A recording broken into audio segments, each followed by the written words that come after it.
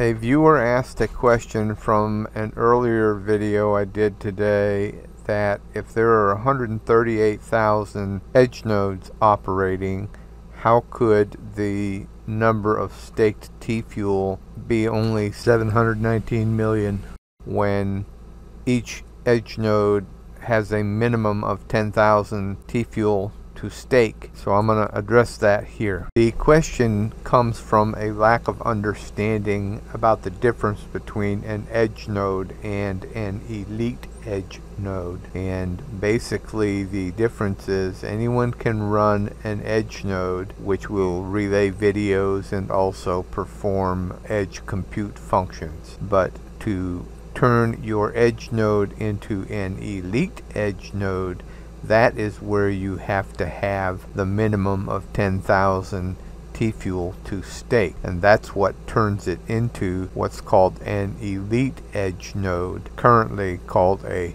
pre-elite edge node. So 138,000 edge nodes are currently running However, only a portion of those have the minimum of 10,000 T-fuel required to stake and turn them into an elite edge node. So when we see the number of T-fuel staked at 719 million we know that just a portion of the 138,000 edge node is actually an elite edge node. So to sum it up, an elite edge node is an edge node that has been upgraded to an elite edge node by staking at least 10,000 T-fuel to that edge node. So it's safe to say that an elite edge node is an edge node, but an edge node is not necessarily an elite edge node. So if you do the math at 719 million T-fuel staked and you assume that all of the elite edge nodes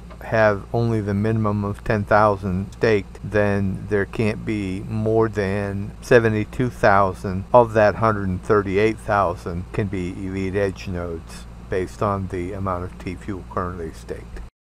Okay, if you found this helpful, Go ahead and hit that thumbs up button for me if you would on your way out, and I'll see you in the next video.